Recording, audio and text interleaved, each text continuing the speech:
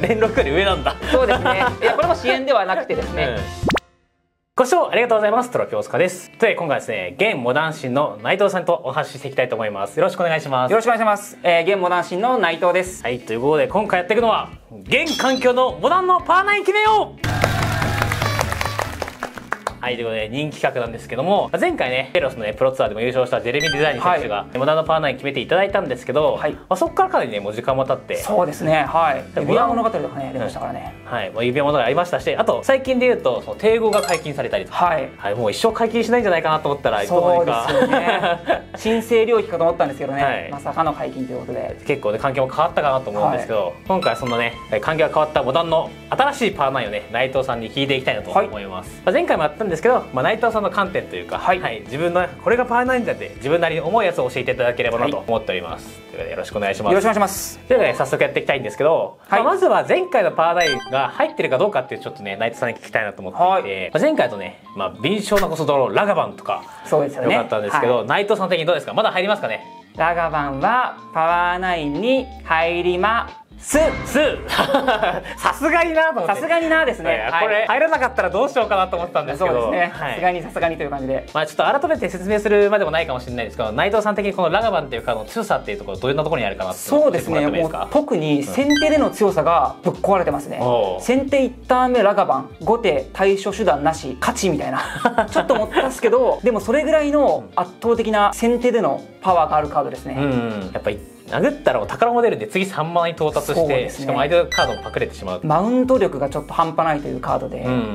特に先手では強いなと。まあもちろん後手でも対処されなければ強いんですけど、ん。先手では顕著ですね。やっぱね最近はちょっと多くのミツカでタフネスイッチもかなり評価下がってるんですけど、はい。それでもやっぱラガバンは強いままですかね。それでも強いと思います、やはり先手の強さがあるので何回も言ってしまいますがはい、ということで、まあ、ラガバンは、まあ、引き続きパワーナインとパワーナインです。ねはい。続きまして時をほぐすモテフェリーとかどうですかね。これもねパワーナインにジェレミー選んでましたけど。時をほぐすモノテフェリーはやはり入ります。お入る。おおこれそうですね内藤さん的にはどういうところが？そうですねやはりこのテフェリーというカードを着地してしまうとこれだけで終わるデッキが環境に2つほど存在するんですよね、うんうんうん。一つはカスケードクラッシュ、うん。そしてもう一つはリビングエンドというデッキがありまして、うん。続賞系ですね。はい、それらのカードがプレイできなくなってしまうのでこれを例えば2ターン目とか3ターン目に着地して対処できなければねもう負けというぐらいの強力なカードなのでやはりパワーナインにふさわしいのではないかなと。もちろん続賞以外にも強いカードなのでパワーナインは揺るぎないんじゃないかなと思います。ちなみにこれ内藤さんがリビングエンド使ってるからとかじゃないですか？それは全く関係ないです。関係ないですか？今回は そういう視点なしでいこうと思います。はい市場ではなくしっかり市場ではありません。はい。い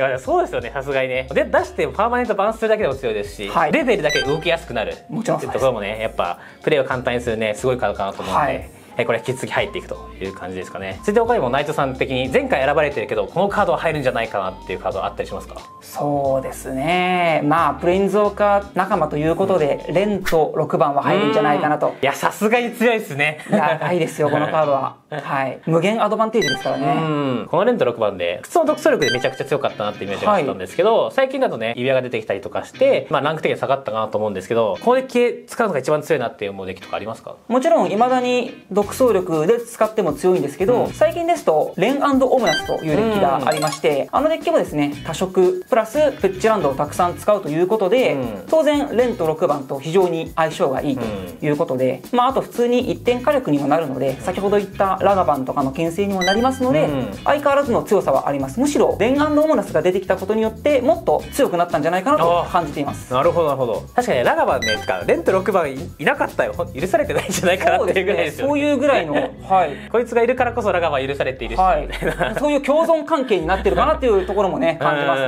うんさすがにこれはまだパワーパワーナインと。パワーナインだと思います。はい。他にも内藤さん的に前回のパワーナイン選ばれていてまだ引き続きパワーナインの力持ってるなってカードありますか？そうですね少し悩んだんですけど、まあウルザの物語は入るんじゃないかなと思います。このカードねもうレガシーでもヴィンテージも強いですけどやっぱモダンでもさすがに強いと、もちろん先ほど言ったレガシーヴィンテージよりはやはりアーティファクトが少ないので、うん。少しパワーは落ちるんですけど、うん。やはりそれでもトークン出してトークン出してサーチという動きはとんでもなく強いのかなと思います、ちなみにこのカードが一番強く使えるデッキは何だと思います？か、間違いなくアミュレットタイタンです。アミュレットタイタンアミュレットタイタンですね、えー。まあ、アミュレットタイタンに許された動きとして1ターン目ウルザの物語というのが許されてしまうんですよね、はいはいはい。本来であれば1ターン目にウルザの物語を置いてもなんかあまりトークンも出せないしうま、みがないなと思うんですけどアミュレットタイタンの場合は勢力の極というねキーカードにつなげることができるので、うん。1ターン目にウルザの物語を置くという動きが許されるデッキなんですよね、うん。まああのデッキにとってはもうトークン出すとかどうでもいいよ。勢力の工夫があることが一番大事だみたいな、大事ですね。ということでやっぱこのウルトラの物語が、まあ、一番最初に確かにね置けないと他のデッキだとねなんかちょっと損した気分になりますよね。そうですね。それがアミュレットタイタンだったらめめちゃくちゃうまく使える1と。ターン目に置いても全然大丈夫というところで、あとこれ土地なんでやっぱほとんど対処できないっていう。そうですね。ただまあ唯一そのエンチャント破壊とかに引っかかるのがうん。唯一の弱点なので、ん。まあギリギリ許されてもいいかなというところですね、さすがにパワーナインの一つだと。パワーないなら間違いないかなと思います。なるほど。ということで4つ目はねウルザの物語ということなんですけど、他にもなんかまだ入ってきそうなカードありますか？そうですね。これは本当にギリギリという感じなんですけど、うん。未だ表現の反復は入るんじゃないかなというところですね。なるほど。表現の反復ね、まあ、前回入ってましたけど、まあ、レガシーはね。もうなんか、ね。殿堂入りというか殿堂入りしてしまいましたけど。ボタンではなぜかまだ使えるってはい。いう顔ですけど、はいこれはやっぱりどういうところがそうでですね。まあ普通に例えば先ほど冒頭に言ったラガバンとの相性がまずいいのが挙げられますね、うん。1ターン目にラガバン出して2ターン目に殴る。そして宝物トークンが出ると、そして宝物トークンと土地から表現の反復を唱えるとなんとそのターンランドセットすることができるのでうん。分回りがあるんですね。いやそう2ターン目に打つと基本的に土地カードめくれちゃった場合にあ置けねえなこのターンってなっちゃうんですけどなので本来はそう2ターン目には打てないんですけど、ラガバンと分回った時に2ターン目にも打てると、うん。もちろんラガバンなしに普通に3ターン目4ターン目にセットランド前に使っても強いということで、うんアドバンテージが取れるカードなので合わないかなというところですね。2マーで簡単にね 2ドローみたいなもんなんで。そうなんですよね。お手軽なんで、はい。しかも結構最近めっちゃいいとこがあってこいつドローしないんで。そうなんですよね。あのね厄介な。厄介なねこう弓引く人に当たらないというねそういうメリットもあります。いやそこ偉いっすよね。偉いですよ。はい、ということでこのね表現の反復も引き続きパワーナインということなんですけど他にもですね内田さん前回のパワーナインで貼りそうなのまだありますかね？いやーとりあえずこのぐらいにしておこうかなというところではい。一応5枚ね前回から引き続きパナインに入ってましたけど、はい。あと4枚新しいカードが入ってきたぞそうですね。というところですかね、はい。このね新しいパワーナイン1つ目教えてもらっていいですか？一つ目これまたなんか個人的なあれじゃないかと言われるかもしれないんですけどダウスイのコク歩きです。え？ダウスイのコクアルですか？はい。はい。なんかラクドス早期とかに入ってそうです。いるカードですけど。今田さんにシャドウで相手がねいずこかから墓地に行くなら全て追放するよって。いう、うん。でそして虚空カウンターが乗るよと。そしてタップ生贄でその虚空カウンターが乗ってる中から1枚無料で唱えることができるというカードになります、これでもちょっと粒子対してちょ竜引かないとちょっと納得できないかもしれないですけど。るほどなるほど。もちろん、リビングエンドというカードが先手2ターン目に出されたら終わるというのはもちろんあるんですけど、そうでなくても例えば環境にはびこるミドタンウルザトロンとかですね、うん。こういう重いデッキに対しても非常に強力でして、はい。2ターン目に例えばダウシーの国歩きを出して3ターン目にハンデスを打ちますよね、うん。思考囲いや悲嘆といったカード。そこでですね相手の手札にあ裏目があったとかですうんね一つの指輪があったとか。そういうのがあればすぐさまハンデスで落として唱えることができるので、うん。特に別にリビングエンドというデッキが環境にいなかったとしてもパワー9になりうるレベルのカードだとは個人的には思います、うん。そのハンデスとの組み合わせが本当に強いっていう。めちかゃくちゃ相性がいいですね、さっき言ってたその3ターン目にユラボグが見えちゃったよってパターン。確か指輪物語のプロツアーかな。はいどっかで見て、はい。あ実質3キルだみたいな。必須3キルですね。思ってましたよね。こういうのもね引き寄せるっていうのがやっぱ強いところかな、はい。僕もラガドス最近握り始めてるんですけどすごくいいなと思ったのが、はい。シャドウを持ってるところですね。そうなんですよね。か普通に攻めても強いんですよね。なんかブロックされないからずっとなんかこいつがいるだけでずっと3点ライフ毎はい回削れるっていうのは、僕はかなり強いなと思ってクロックも速いしいざという時のサクリファイス能力も強いし、うんということで令和のカードパワーだなと感じます。なんか本当ラクトス早期が出てくるまではいや黒黒ねちょっとマナコストもちょっと出しづらいし。すね。評価がちょっとうん今一つだったのはちょっと今となっては信じられないというカードですね、うん、入ってくるんだこういう男子の告歩き。あ支援じゃないですからねウィ ングエンド使ってるからはいその、そういう色眼鏡でね見られてしまう可能性があるんでね僕口をねあの少し言っておきますけど関係ないです。関係ない。けど入ってくるということで、はい。じゃあね新しくね入ってきたパワーナインダウシーの極歩きと、はい。い、うことになりますけども続いて7枚目ですかね。え7枚目に連ねるね名前なんでしょう？あこれは納得していただけるんじゃないかなと思うんですけど豆の木を登れです。あー今もう絶賛なんか暴れまくってる。絶賛ですね本当にもう。なんかツイッター見てると毎日ように新しい豆の木デッキが なんかそうですッターで共有されてるみたいな。あのなんか日々ねあの皆さん研究してるということでそれほどまでに魅力的なカードなのかなとうん。思いますね、改めてじゃあそれの強さっていうのはどういうところにあるか教えてもらってもいいですか？そうですねまずキャントリップがついてる。これが偉大ですね、うん。つまりカウンターされなければですねすでにもう1枚引いていますので、うん。仮に虹色の終焉とかで除去されたとしてもアドバンテージは得ているので問題ないというのがまず強みですね、うん。あとは環境にあふれるピッチスペルですね、うん。特に相性がいいのがやはり孤独、ん。劇場といったカードを唱えて本来は1枚損してるんですけど豆の木のおかげで1枚引けるということで好きなくアドを取りながら引けるというのが非常に強いのかなと、うん。あと力戦の束縛とかも相性がいいですね。そうですね。軽い除去をしながらワンドローということで本当にもうやばい強さだと思います。これ置いてあるとなんかちょっとやばいかもしれん。次大変なことが起こるかもしれんみたいな気持ちになりますよね。なんならこの豆の毛というカードが強すぎて断片なき工作員でうん。必ず豆の毛をめくるというデッキまで登場する始末なのでちょっと本当にあのデッキを最初に見た時は驚きました。いやそうっすよね。読書するって言ったらもう必殺技を出すみたいな。なんですよ。なので私も最初サイが出てくるのかなと思っていたんですけど、豆の木がめくれたのでちょっと正直小バカにしてしまったんですよね。あ豆の木なんか出してていいのかなと思ったら、そのデッキにボコボコにされました。必ず絶対豆の木出るんでそうなると2回目の続書とか3回目の続書するとどんどんどんどん豆の木が重なっていくそうですね。となるともう力戦の束縛を唱えたらアドバンテージになるというね。わけのわからないことになってしまうので僕もそのエレメンタル大好きな動画チームのスタッフがいて、はい。このデッキやべえっつってカスケード、ま、豆カス豆かすって言われてますね。ちょっとなんか響きはあれですけど 豆かすって呼ばれてますね。はい。組んできてで僕がそのラクドストーキで戦ってたら結構お互いもうハンド消耗した後になんか力戦の束縛1枚だけでじゃあ3ドローしますとか言って。そうですね。え？ってもう中盤戦終盤戦にめちゃくちゃ強いんですよね。なったりとかして。最終的にあれハンド今え？6枚もあるみたいな。え？俺なんもないけどみたいな。全部除くられたのに。無限無限の手札です。そう。全部除くられたのになぜか手札6枚あるはいはい、負けましたみたいなもう逆転不可能なレベルの差がついてしまうということでね恐ろしいカードだと思います。いやすごいですよね。これがしかもモダンホライズンとかじゃなくてスタンダードのスタンダードでも使えるというね。はい。スタンダードから出てきたっていうのがすごいなと思いまして。なんかこれはなんか僕らもえこのカードやばすぎてもう続唱から出すみたいなギミックが出てきちゃったらもう禁止になるんじゃないかなみたいな。ふうにちょっとね予想したとこもあったんですけど、まあ、今回ね直近でちょっと禁止改訂があったんですよ、はい。それはノーチェンジというノーチェンジでしたね。まあ健全と判断されたということかなと、いこれちょっとモダンシンどんぐらい暴れるか僕は結構気になってるなとや結構暴れると思いますね、うん。はい。はい。ということで7つ目はね豆の木を登れということだったんですけどじゃあ8枚目のパワーナイン。はい。お願いします。はい。多くの弓使いになります。はい。これは これも納得ですね。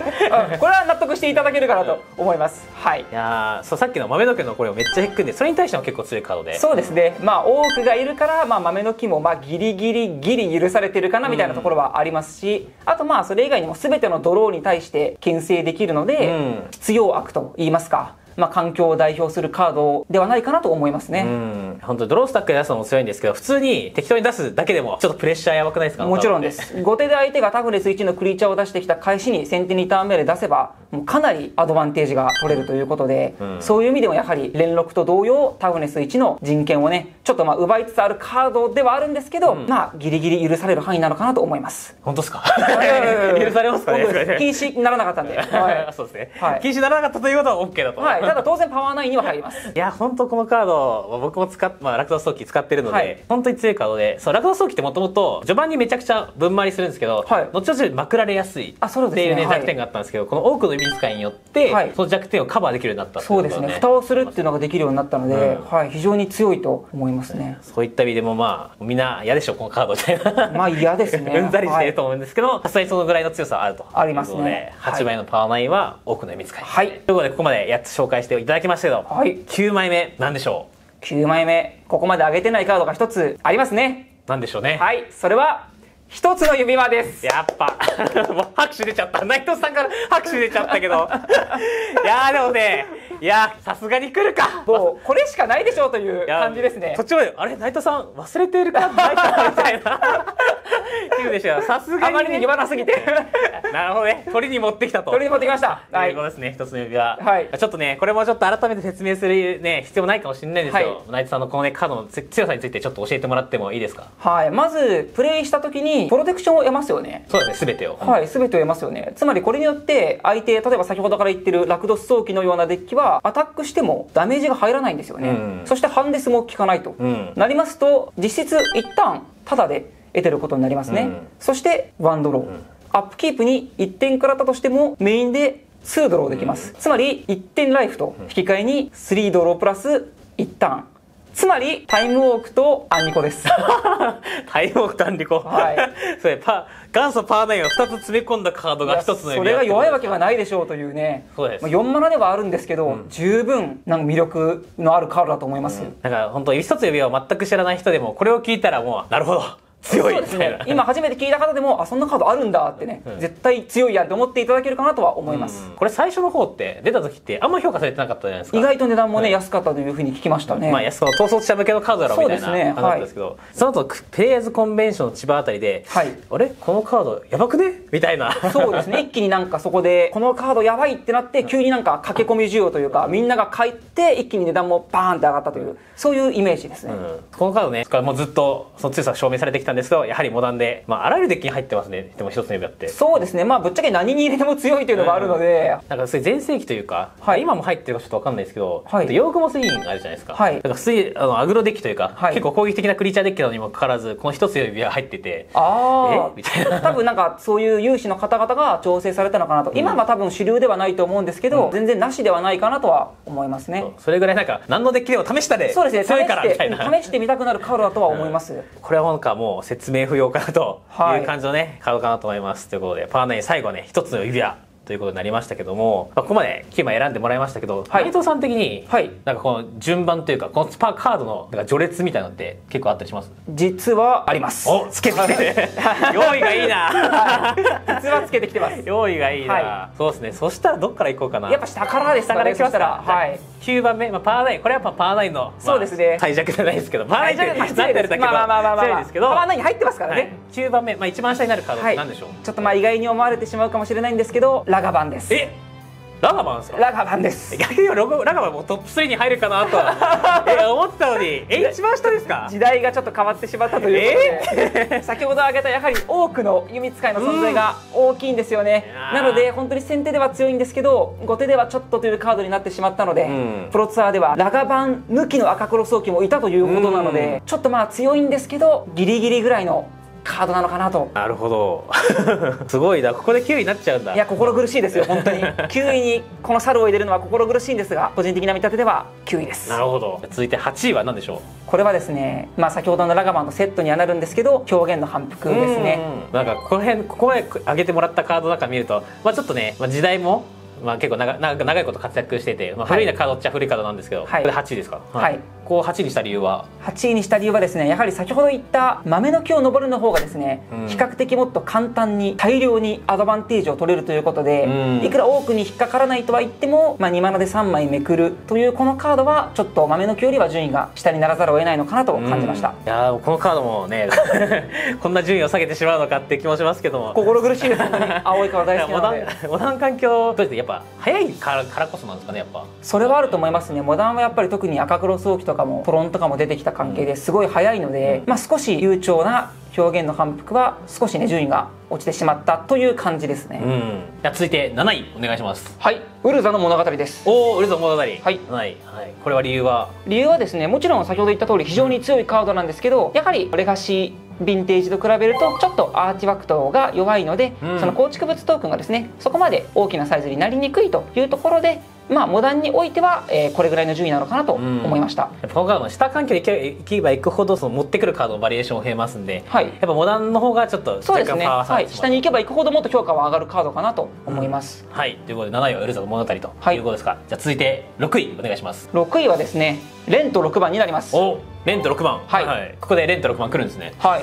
ここは6位に選んだ理由は？そうですね、まあ、6位となると、まあ、ちょっと上の方の順位になってくるんですけど、強いカードなので、まあ、この中間ぐらいに持ってきたというところですね、まあ、そんなに下の方には入れたくないし、トップ3かと言われると、まあ、やはり赤緑のプレインズウォーカーというところで、ちょっとこれぐらいの順位にならざるを得ないのかなと感じました。あそうですね。そのなんだろう赤緑っていう色自体があんまり使いづらいそうですね。ところもあんまり多くのデッキがその赤緑っていうカードを使ってないそうですね、そういうところも考えて、うん。一応この順位かなというところにさせていただきました。はい。じゃあ続いて5位お願いします。はい、5位は、ええーダウシーの国歩きです。あ 連絡より上なんだ。そうですね。いや これも支援ではなくてですね、うん。やはりさっき言った通り2ターン目に出して3ターン目に判絶した時のもう3キルムーブとかもありますし、そうでなくても単純に全追放が辛いデッキもたくさんありますので、うん。これ1枚で結構終わってしまうデッキもあると考えると、うんもうそれぐらいのパワーはあるのかなと感じますね。最近だとそのアガスの魂の大釜を使ったクリーチャーデッキ結構増えてきたじゃないですか、まあ、ヨグマスだったりあとウロコシンは。そうですね。はい。もうこのダンスの国歩きをやるとアガスは使えないよ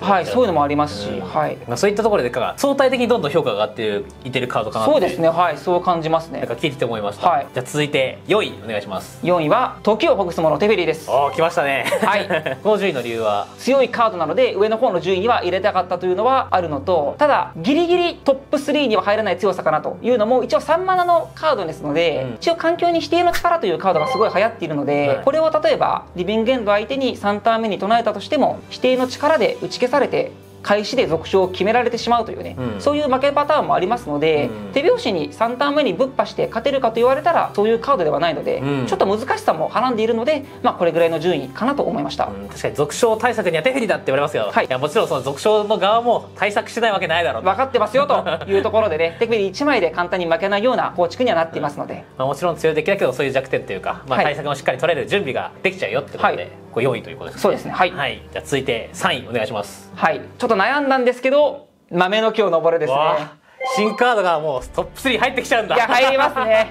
やはり無限アドバンテージはちょっと強すぎます。聞いてるだけだとあんま想像できないかもしれないですけどやられるとマジでこのカードやばいってそうですね。思いますね。テキストを見た段階では波ぐらいなのかなと思ってたんですけど先ほど言ったその豆かすに当たった時に本当に強さをね思い知ったのうで、ん。もう環境にこれだけ使われてるということでまあトップ3は入れてもいいんじゃないかなと思いますね、逆にちょっとモダン誌でめちゃくちゃ暴れてほしいなってちょっと思ってて。はいはいはいはい。配信映えしそうだなみたいなそうですね。孤独やって3ドローとかやってほしいですやっねてほしいですよね。やられたかはたまったもんじゃないですけどそんぐらい本当にねインパクトのあるカードなのでそうですね。はい。3位は豆の木の上りとはい。いうことで、じゃあ続いて2位お願いします。はい。2位は多くの弓使いです。おこれ多くの見つかりはい。この理由は？そうですね。まあ本当にさっきも言った通りタフネス1を簡単に処理できるカードですし、ドローを咎めるカードですし、うん。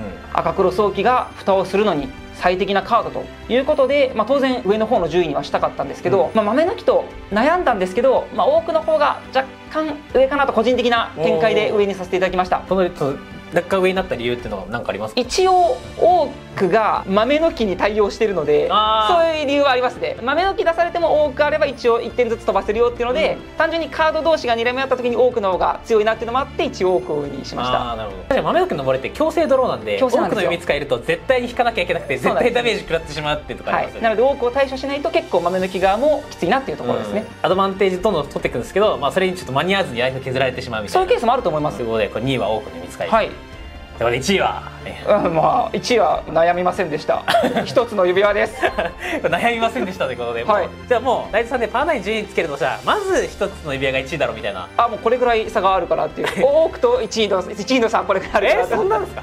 いやそれぐらい一つの指輪はとんでもないカードだと思います。おー。あその1位のは結構まあねパーナインの選んだ理由でも言ってもらったんですけどやっぱりその、パーナインが2つくっついてる。はい、パワーナインが2つくっついてるのもありますし、まあ、先ほどちょっと言い忘れたんですけど普通の例えば青白コントロールとか、うん。そういうデッキが使っても強いんですけど特に強いのは、えーアミュレットタイタンとかウルザトロンが使った一つの指輪がとんでもなく強いんですよね、うん。ああいうデッキって赤黒とか相手にあと1ターン足りなくて負けちゃったよっていうことがうん。非常に多いんですけど一つの指輪はその1ターンを稼いだ挙句に3ドローなので、うん。その1ターンのおかげで勝ったということが本当に生じやすくなってるのでマジで環境を変えたと言ってもいいと思います。うん。いやもうこの一旦あるだけでじゃあ大逆転が。大逆転です。指輪の連鎖もありますからね、うん。一つ目の指輪を2枚目の指輪出して一つ目の指輪を破棄してもう一旦プロテクションみたいな、うん。とんでもない動きもできますからね。あれ本当にやられるともう腹立つな。やばいですよね。思いますね。あーここでねパーナイン1位は一つ指輪ということで、はいやこれなんかもう話聞いてると納得だなと思います。はい、ということで今回はですね現モダン誌の内藤さんに現環境のモダン最強のパーナイン決めていただきました。でこの後ですね第24期モダン誌挑戦者決定戦が行われます。11月18日そして19日に神決定戦が行われるということで、はい。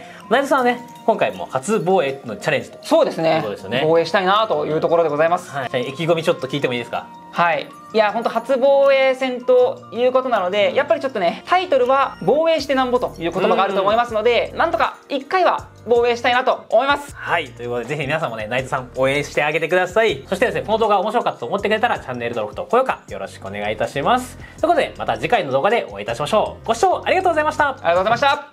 今日の負けはこちら。最後までご視聴いただきありがとうございます。よろしければチャンネルの登録そして高評価よろしくお願いいたします。またマジックのカードをご購入の際は概要欄のリンクからハレリアをぜひご利用ください。それでは次回の動画でお会いしましょう